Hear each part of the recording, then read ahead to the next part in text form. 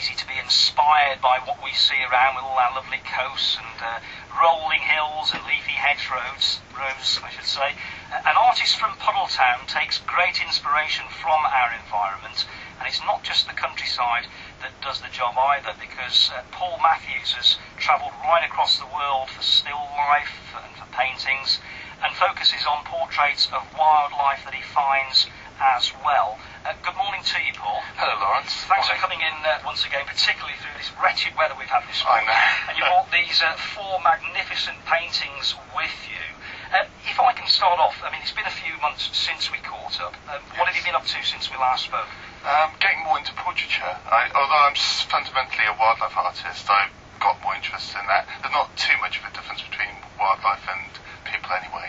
Um, but I've started to do more of the portraits, and that's what I'm trying to promote a bit more. I'm intrigued. The first uh, portrait that you brought in, I, I guess that frame is probably about four foot by two foot, something of that order. Yes. Big painting, so uh, well done physically uh, t- taking those through the streets of Dorchester. What have we got there? Who is that lady there with the, the frizzy hair? Oh, that's Maria. Um, it was a life model session I did. I, I sketched from life, and um, just between sessions, she put on this cloak, and I thought she looked fantastic in that. I thought it'd make a perfect painting, so I did a quick sketch and took a few photos, and on the basis of that, I did the portrait. It's quite a large one. Yeah, it is. How long did it take you to complete that then? About four, I'm sorry, about 60 hours, that Right. one, I guess. It's over a period of time, though, because I work on a few paintings. Okay. Now, I'm intrigued by the one that's nearer to me here, the Yes. landscape uh, painting that you've done. And let me tell the listener, it depicts a, a fox who's walking across the countryside. There are seagulls flying overhead in rather sullen grey skies. And in the foreground of the painting, there is all manner of rubbish that you might find on the beach before one of those fantastic beach clean uh, projects that goes around our county. There's all sorts of Coke cans and, and whatever. Wh- What's the message there that you're trying to get across then? Well, it's an environmental message. That's a, a landfill site. And the thing that I was trying to show is that although these things are made for recycling, all, the cans and so forth, um, they still get just thrown into rubbish and taken off. Um, that, that was painted about six years ago.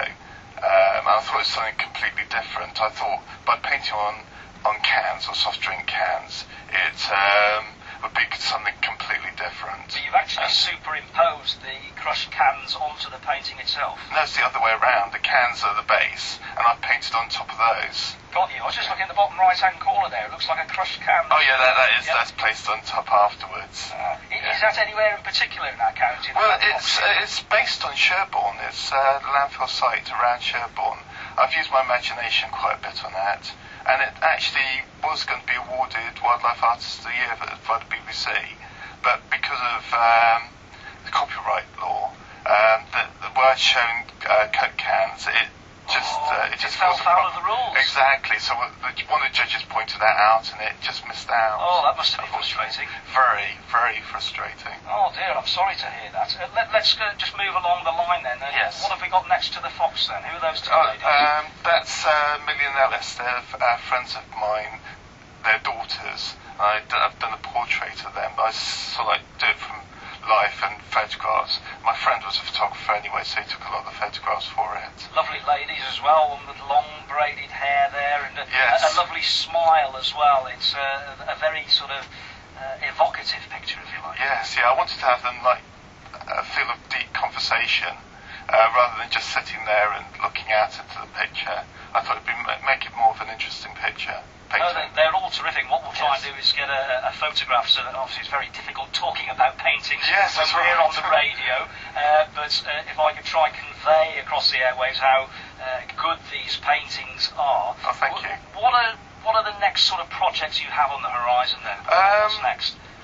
It's uh, I'm thinking of an indigenous indigenous people doing portraits of them, uh, like because I go to Africa uh, um, fair, a fair amount. Um, tribes around Africa like Samburu, Maasai, and so forth, and also some Asian um, people as well. I've been out, Just on sorry. been out to Mombasa, so you Oh, yes, some, yes. Uh, some magnificent sort of um, subjects to get Yes, across there. yeah, I've been through Mombasa, and um, there's people on the side of the road that look really interesting.